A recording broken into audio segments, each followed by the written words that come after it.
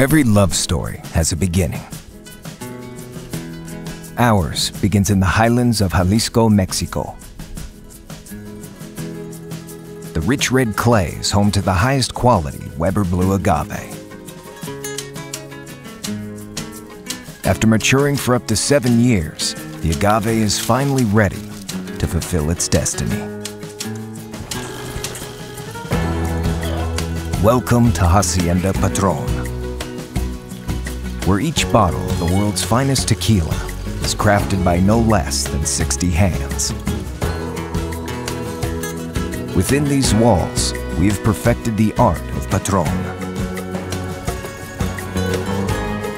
First, piñas are hand cut and slow roasted in mason brick ovens.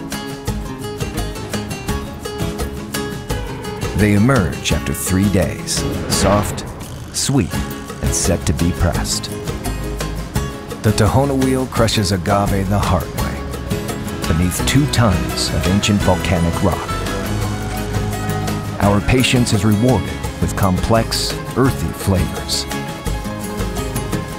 During fermentation, the tequila begins to reveal itself. The juice is transformed, taking on the essence of freshly cooked agave. It's then distilled in small copper pot stills, leaving just the heart of the tequila. Meanwhile, excess fibers used to enrich the soil and nurture the next generation of agave.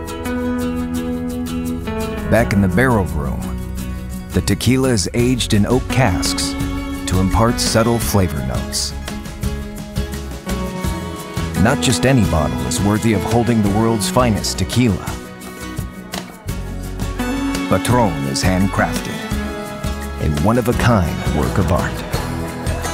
And inside each bottle is our masterpiece, a product of patience and passion, a true labor of love.